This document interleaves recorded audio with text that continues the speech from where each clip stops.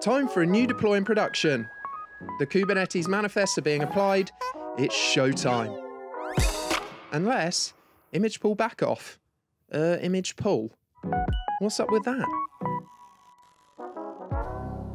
Bad news. Your pod is unable to start until the container image is downloaded on the node. The image pull back off state itself is not too much of a hassle. It means that when the pod was being created, there were some issues when pulling the container image.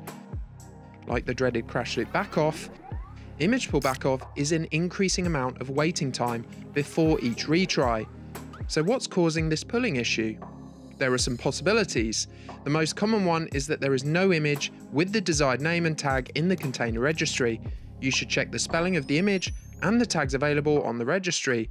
Another cause might be issues reaching the container registry.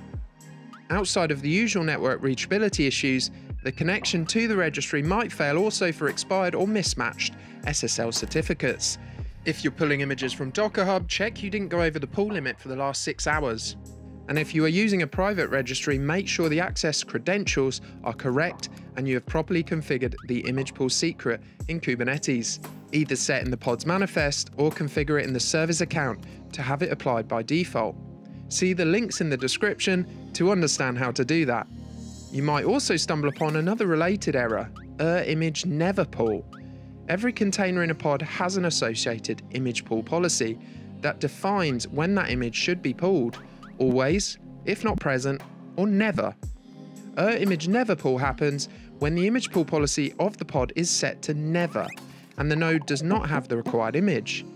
Kubernetes is unable to get the requested container image, and so your pod can't start.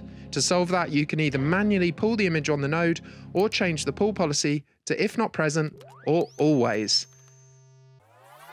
And that's all there is about the image pull back off error. Want to know more? Visit our blog or check our Kubernetes resources in the description and subscribe to our channel. You don't want to miss our next video. Thanks for watching.